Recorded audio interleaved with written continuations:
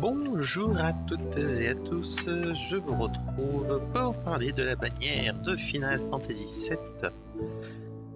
Avec donc Tifa, Vincent, Barrett et Kate Seed qui font leur apparition. Et à la fin, on parlera bien évidemment des éveils 7 étoiles de Cloud et Sephiroth. Et donc, sans plus tarder, commençons par parler de Tifa. Donc, ses stats 7 étoiles, donc 7038 points de vie, c'est à la place en 19e position de la stat pour les 7 étoiles. Sachant que nous sommes à 98 unités ayant une 7 étoiles. C'est, euh, Donc la centaine arrive très prochainement. Un PM 250, c'est en 58e position ex aequo. Attaque 298, c'est en 22e position ex. Défense 262, c'est en 17e position. Magie 146, c'est en 87e position ex aequo. Et la psy 280, c'est en 11e place. Donc c'est 6 étoiles. Donc 4191 points de vie, c'est voilà oui c'est au-dessus de la moyenne. 260 c'est légèrement en dessous. Attaque 58 c'est au-dessus. Défense 134 magie 112 c'est sous la moyenne. Psy 171 c'est au-dessus de la moyenne. Euh, donc 50 de confiance, donc cœur et énergie qui permet d'augmenter euh, son attaque de 30% qui est équipé de, euh, de points et de chapeau. 30% pour les points, 30% pour les chapeaux. Donc les deux combinés, forcément, ça fait un plus 60%. Sa super récompense de confiance, donc le grand cœur, donc son point attaque plus 170 et qui euh, confère 3 cristaux par tour. Oh, c'est sympathique, hein C'est sympathique tout ça. Euh, donc au niveau résistance, rien de particulier. Ah oui, pardon. Si j'ai de faire ça, forcément. Donc rien de particulier au niveau des euh, résistances. Pour équipement, donc on a dague, bâton, marteau, masse euh, pour le point. Pour les protections, chapeau, vêtements, armure légère, robe et accessoires, aucune affinité magique. Et a priori, personne n'aura d'affinité magique. Ensuite, dans, dans ses aptitudes. Donc, beat rush, donc un dégât physique 220% sur un ennemi avec euh, augmente de 100% sur l'attaque du lanceur pendant 10 tours. Déjà rien que son petit sort de sa petite compétence de base, ça connaît, ça fait déjà un bon sort. Après ça fait pas les dégâts associés, mais 10 tours de 100% de buff euh, d'attaque, euh, c'est quand même assez euh, important. Somersault, donc un dégât physique 250% sur un ennemi avec un debuff 50% de défense pendant 5 tours sur l'adversaire. Ça aussi c'est cool. Water Kick, donc un dégât euh, physique lourd 310% sur tous les ennemis. Météo Drive, donc 450% de dégâts physiques sur un ennemi. Dolphin Blow, un dégât, magie, euh, dégât physique lourd à 330% sur un ennemi qui le debuff sa résistance haute de 60% pendant 5 tours et confère l'élément haut au lanceur pendant 5 tours également. Meteor Strike, un dégât physique 400% sur tous les ennemis et euh, confère entre 3 et 6 cristaux au lanceur. Ensuite, on a euh, donc Zangan Combination. Donc un dégât physique 300% avec ignore 50% de la défense adverse.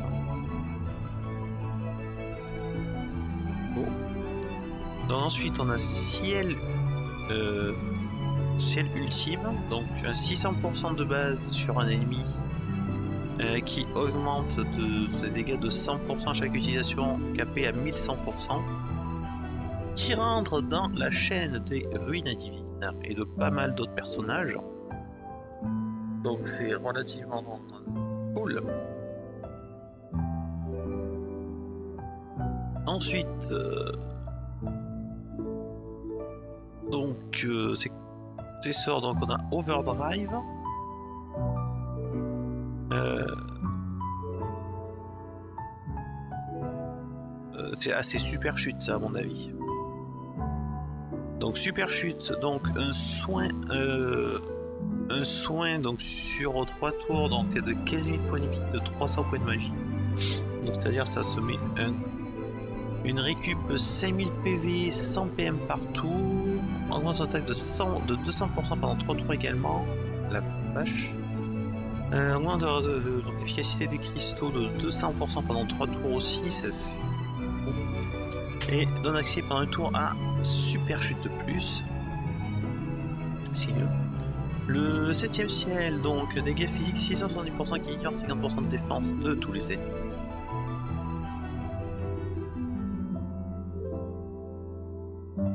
Et donc le super euh, chute plus, donc un dégâts physique de 2300% sur un ennemi et qui donne 10 cristaux euh, au lanceur. Ça fait quand même beaucoup.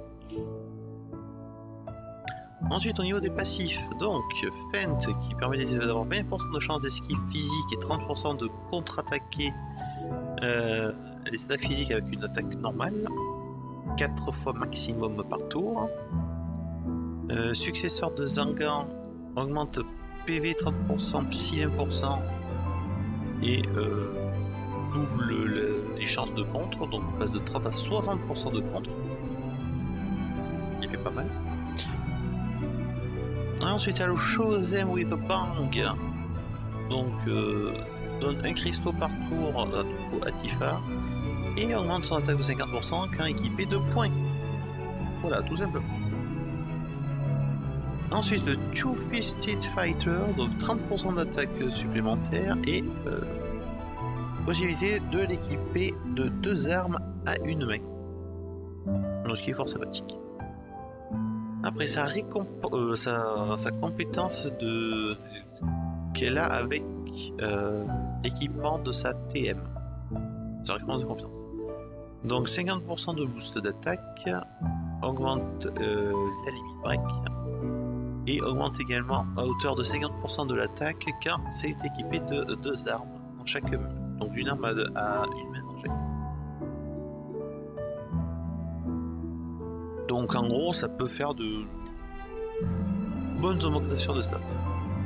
Après Battle Cry, donc 30% de défense et de psy, euh, et augmente l'efficacité des cristaux de 5%. On a MP plus 20%, et le Freed Hurt qui augmente donc son attaque, sa défense et ses points de vie de 20% et qui augmente euh, les euh, dégâts de toutes ses compétences après oui. Hein.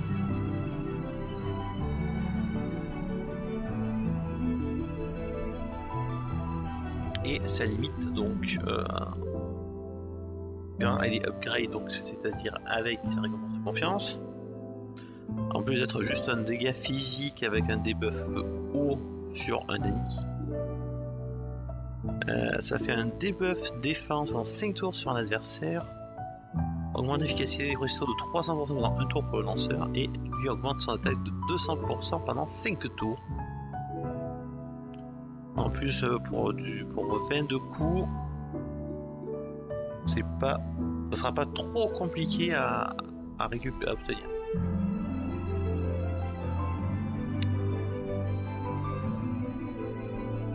Rien que ça, et ouais.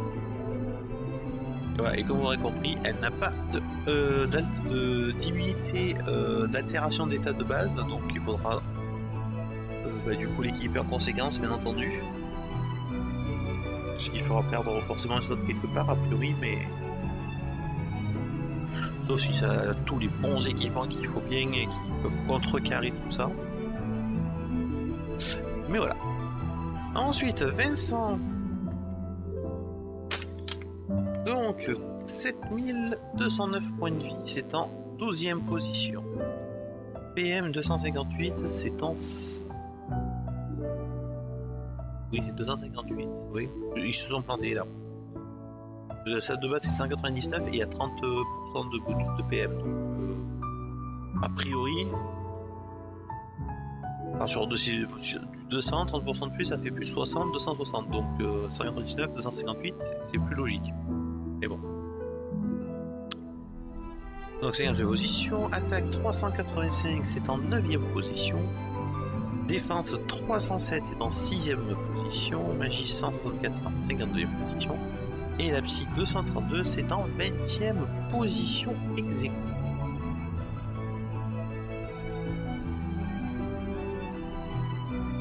Niveau des stats 6 étoiles, donc PV 404, c'est la moyenne.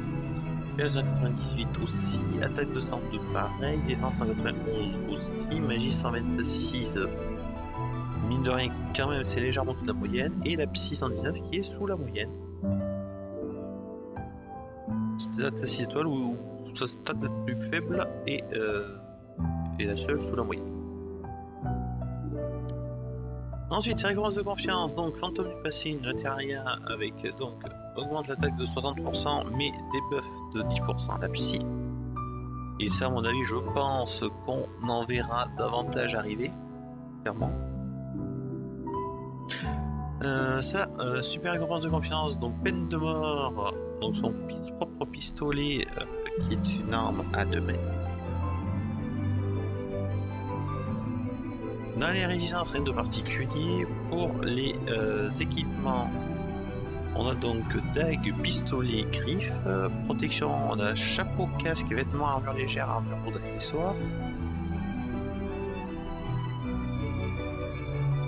Ensuite, au niveau de ses compétences, on a la Berserk Dance, 300% euh, de dégâts physiques sur un ennemi, une chance sur deux pour le mettre sous confusion, et augmente l'attaque du lanceur euh, de 100% pendant 5 tours. C'est fort sympathique. Beast Flare, donc augmente les dégâts physiques contre les bêtes pendant 5 tours pour le lanceur, et euh, fait un dégât de feu sur tous les ennemis à 350% on a la même chose donc avec les machines et un dégâts donc de foudre. Voilà, c'est la même chose. Ensuite, Gigakunk, donc un dégât physique 335% avec ignore défense 50% sur un ennemi. Ce qui fait un 670%. Splatter Combo, un dégât physique 670% sur un ennemi. Oui, ça, ça doit être le massacre euh, Nightmare, donc debuff euh, toute stat 55% pendant 3 tours sur un ennemi et inflige une altération aléatoire ensemble. Euh, priorité le sommeil, sinon une note 30% sur un ennemi. Ensuite, donc la lame de chaos, donc de, dégâts physique 225% qui ignore 50% de défense de tous les ennemis donc 400% AOE. Donc en mettre en freine de, de chaîne, ça peut bien servir. Euh, donc les peines de Lucretia donc augmente l'attaque et la défense de 250% pendant 5 tours pour le lanceur. Il augmente ses dégâts physiques contre les bêtes et les machines de 100% et augmente l'efficacité des cristaux pendant 5 tours également. Pas mal de choses. Dans ses passifs, donc Human Constitution, donc, le skill de récup de PV et de PM, nous sommes assez fait, on en parle plus. Former Turk, donc 20% de PM fait 30% d'attaque et de défense. Resolution of Attunement, 30% de points de vie et immunité à poison, aveuglement, paralysie et maladie. Il manque la pétrif. One-Handed Gunner, donc augmente attaque de 100% et euh, de 10% quand tu es équipé d'une seule arme euh, dans les deux. Voilà. Et ensuite, la lumière d'espoir, donc euh, une fois équipé, ça récompense de confiance. Donc augmente l'attaque de 40% et la psy de 20%. L'immunise, enfin l'immunise, le rend insensible aux attaques de ténèbres augmente sa limite et euh, lui confère un bonus d'attaque et de précision quand c'est équipé qu'une arme dans les deux mains. Ensuite, le Gun Mastery, donc 50% d'attaque supplémentaire quand équipé de Stolet. Après, Turk Among the Turks, 20% de PV, 60% d'attaque et augmente les dégâts contre les bêtes et les machines de 100%. Donc encore plus de dégâts.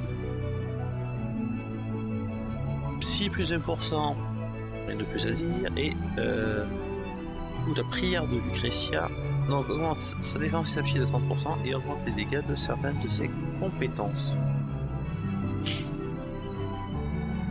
Sa limite donc c'est euh, un fiche KO ou le cas échéant ne marche pas, un dégât physique avec 50% d'inner défense sur tous les ennemis. Et euh, si euh, ça joue avec sa commence de confiance associée,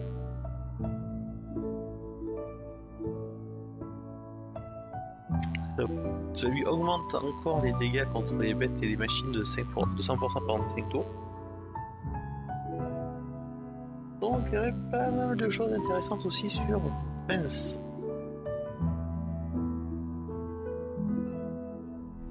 Maintenant on passe à la fin. Le menu frottin comme on dit, donc Barrette. 4846 points de vie. Euh, oui c'est ça. Le gros regarde de là alors. 4100 euh, je dis Barrette, 4846 points de vie, c'est au-dessus de la moyenne. PM 159, c'est légèrement en dessous. L'attaque 190, c'est la moyenne. Défense 33, c'est au-dessus de la moyenne. Magie 80, c'est sur tout comme la poussière.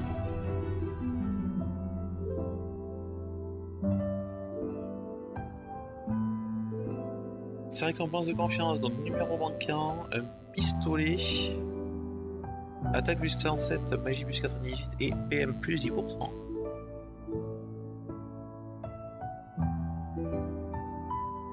Au niveau de la résistance, rien de particulier. Au niveau des équipements, on est sur H, marteau, pistolet, euh, point. Protection, on a chapeau, casque, vêtements, armure légère, armure lourde, accessoires. On a donc Big Shot, 250% de dégâts physiques sur un ennemi. Mind Blow, un dégât physique avec drain de PM et un debuff psy quand on tour sur un ennemi. On a la grenade bombe qui est un dégât physique 180% sur tous les ennemis et un debuff défense 35% pour tous les adversaires. Hammer Blow, donc tuerie instantanée ou bien qu'on fait un dégât physique à 350% sur un ennemi. Euh, Speed Tree, donc, qui permet d'accéder pendant, 3 tours à double limite. Intéressant, intéressant. Satellite Beam, donc un dégât physique 300% sur tous les ennemis. Et euh, polaire maximale. Un 200% qui ignore 50% de défense de l'ennemi, donc un 400%.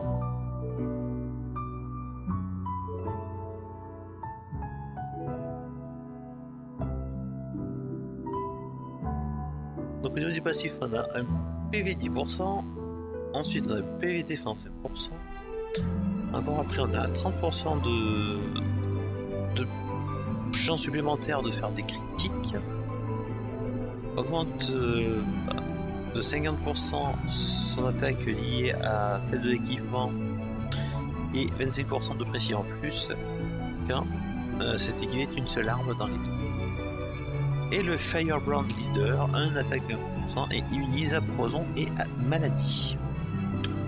Bon, ce qui est fort sympathique. Et donc la double 8, ça lui permet de euh, lancer deux fois en un tour ses compétences euh, bah, de limite. Et ça récompense. Euh, ça, ça lit. Ouais, c'est ça. C'est donc pas aussi. On un dégât physique ignore défense, donc c'est. C'est quelque chose, mais peut-être pas forcément aussi bien qu'on l'espérait. Et pour finir, le petit dernier, de la nouvelle manière, monsieur. Kate Seed. Donc 3179 points de vie, c'est au-dessus de la moyenne. PM 118, légèrement au-dessus de la moyenne. Attaque 107, c'est sous la moyenne. Défense 127, c'est au-dessus de la moyenne. 14 aussi, c'est la moyenne. Ensuite, donc, ça, récompense de confiance. Donc, l'encouragement merveilleux. Un instrument, attaque plus 22, magie plus 95, psy plus 44. Au niveau des résistances, rien de particulier. Au niveau des équipements, il y a beaucoup trop d'équipements à mon goût. Dague, bâton, sceptre, hache, marteau, lance, projectile, fouet, instrument, arme à feu, et pistolet, euh, arme de G, masse, point, ça fait trop de choses. Au niveau des armures, donc on a chapeau, casque, vêtements, armure légère, armure lourde, robe, accessoires. Alors, ces compétences sont basées sur l'aléatoire, le plus total. Donc, on a le dé qui euh, fait une attaque euh, avec une chance sur 5 euh, de tomber sur chacune d'entre elles. Donc, de faire un dégât, 11 dégâts, 555 5755 ou 7777 points de dégâts. Ensuite, on a la Toy Box.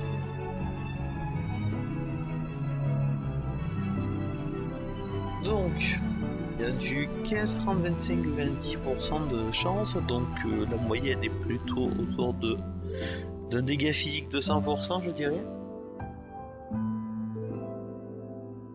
Ensuite, manipulation, donc réduit l'attaque et la magie de 40% dans 3 tours sur l'ennemi et 20% de chance de le rendre confus. Autant dire ça. C'est pas terrible. Et donc du coup slot. Donc il soit fait une récup PVP pour tout le monde, soit un dégât physique de tout adversaire.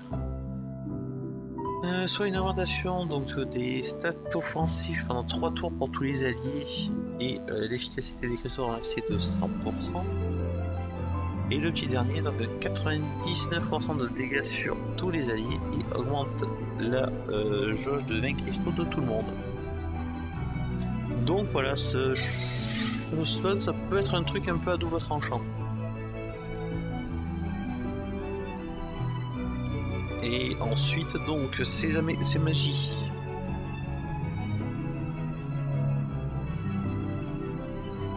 Oui, non. Donc, j'imagine n'importe quoi, bon, c'est passif. Donc, mode gardien retire toutes les altérations d'état en fin de combat. Et, euh, inspiration augmente attaque, euh, attaque PM et psy de 10%. Stuffed Mog 10% de PV de défense. Et le Spare Booty donc 30% de chance d'ignorer un dégâts fatals quand ces points de vie sont au-delà de 80%.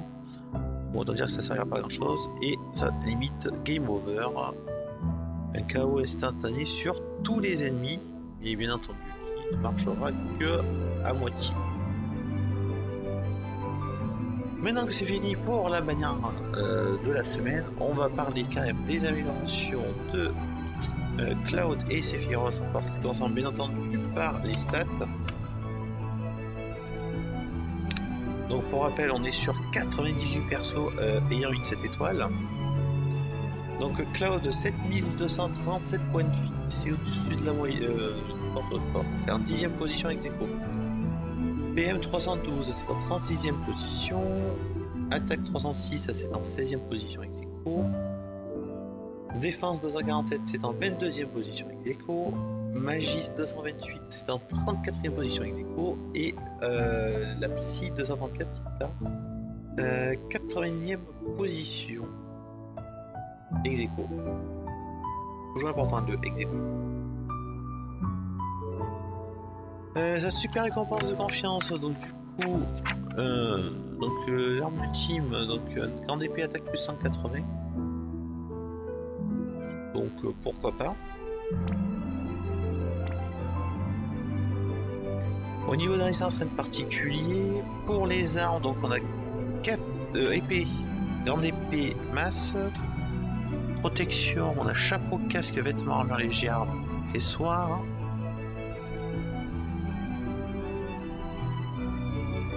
Donc on va se concentrer sur les skills de cette étoile. Donc double limite qui permet d'utiliser deux fois ses compétences en un tour.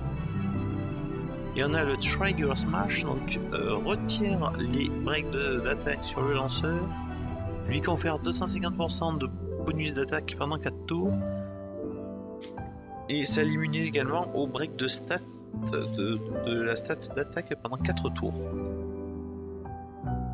Bon, sympathique. Au niveau des passifs, donc on a euh, euh, donc le passif lié à sa récompense de confiance qui augmente l'attaque de 70% et euh, encore 50% de l'équipement d'attaque et 25% de vision quand c'est équipé d'une seule arme à deux mains. Ensuite on a l'attaque plus 1% et on a Memories of Friend, donc augmente de 30% les dégâts de la limite et augmente les dégâts de certaines compétences.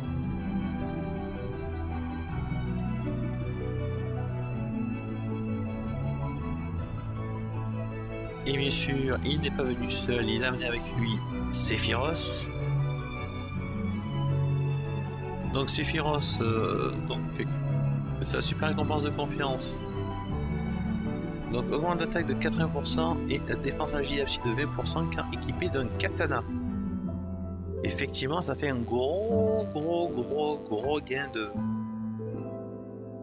de... J'arrive. gros de stats alors que ça demande pas grand chose finalement. Ça c'est, ça c'est cool. Voilà, sinistre héros. Voilà, et tout ça, faut, faut équiper d'un katana, donc forcément. Voilà. Euh, Touk touk touk touk touk. Euh, ouais, rien de particulier. Donc, les sorts 7 étoiles. Donc, on commence par le Consuming Light, un 688% sur un ennemi et qui euh, ajoute l'élément lumière aux attaques physiques pendant 3 tours. Après, on a la même chose avec l'élément ténèbres par contre. Les deux sont dans la chaîne du Kick Quick Hit. Donc, je laisse regarder directement les personnages ayant ce, genre de compétences qui se, se marient à Marseille. Suprématie, un dégât physique 700% avec dégâts augmentés à, utilisation successive. Et qui rentre dans la chaîne de l'Absolute Mirror Infinity. Et, le, et donc la fin tragique, donc euh, tous les 5 tours est disponible au tour 5. 80% de chance de, se donner la mort ou bien euh, si ça tombe sur les 20% restants, ça a un dégât physique à 1700% sur tous les ennemis.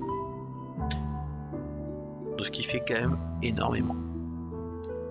Au niveau de ses passifs 7 étoiles, donc on a l'épée du héros, donc augmente son attaque de 50% et sa défense agilise de 10%, augmente toutes ses résistances élémentaires de 10% et augmente les dégâts de l'Octa Slash. Donc ça chose. Clairement. Rien qu'avec sa tête, ça arrive. Ensuite, euh, consumi. Euh, augmente les dégâts d'autres. Attaque plus 1%, je vous apprends rien. Incomprehensible Power, donc augmente l'efficacité des cristaux de 50%. Euh, voilà, de 50%. Euh, augmente son attaque de 40% quand équipé de deux armes à main. Augmente son équipement d'attaque de 50% et la précision quand il s'est équipé d'une seule arme dans les deux.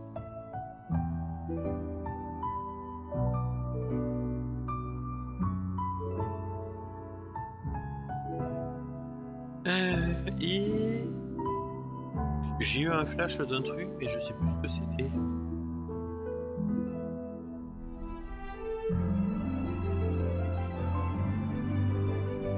j'ai plus. Bon, bah tant pis, hein, ça sera pour,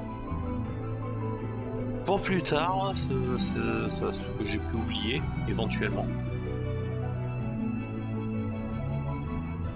Donc voilà, j'espère que euh, été assez exhaustif. Ah, j'ai oublié les, stats de petit, petit Sephiroth hein, de 7 étoiles. Donc 7164 points de vie, c'est en 13e position. PM 334, c'est 21e position ex. Attaque 306 est en 16e position ex. Hum, défense 230 est en 29e position ex. La Magis 239, c'est en 30e position. Et la Psy 241, c'est en 35e position. Et donc voilà tout pour euh, aujourd'hui et cette première bannière de l'année 2019. Je vous retrouve bientôt pour de nouvelles péripéties sur Marvexus. D'ici là, portez-vous bien. Je vous dis à bientôt tout le monde.